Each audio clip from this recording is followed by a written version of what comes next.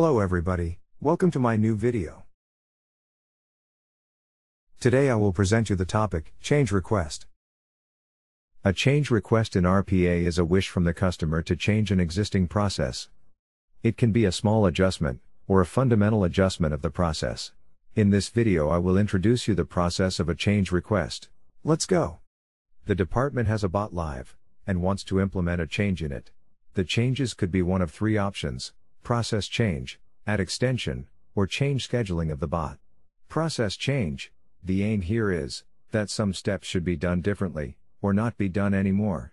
Process change can also be a change in the application, for example, for a process in Edge that this process should no longer work with Edge, but with Chrome. Add extension, a new part of the process or a few steps should be implemented here. For example, the bot works in SAP, and the department now wants to have a new function, that the employees are informed by email, what the bot has done. The third option is to change the work time of the process, for example, process only runs two days a week, and now it should run four times a week. The department discusses this change with the business analyst.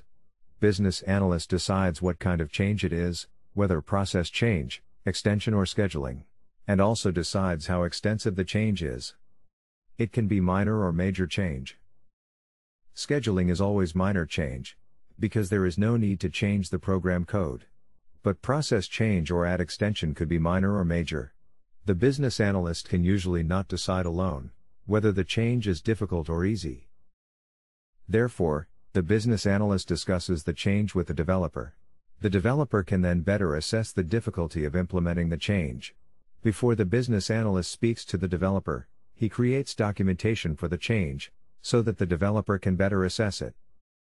After the effort estimate for the change has been created, the business analyst calculates the costs for the implementation of the change request, including testing, documentation, and coordination. The business analyst forwards the cost to the department, how much the change request will cost. With the costs, the period for the implementation is also communicated, when the developer can start with the change request and when it ends. When the department approves the change request, it can be then implemented. The developer implements the change request.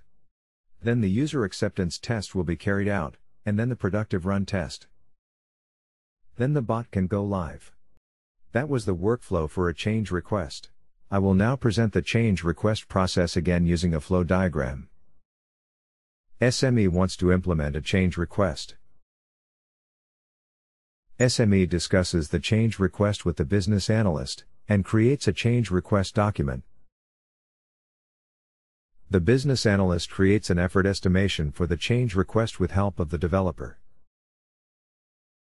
The developer implement the change request after the SME has approved the change request. After implementation the developer will test the process inclusive the change request. Two tests should be performed, UAT and PRT. After successfully testing the process can go live.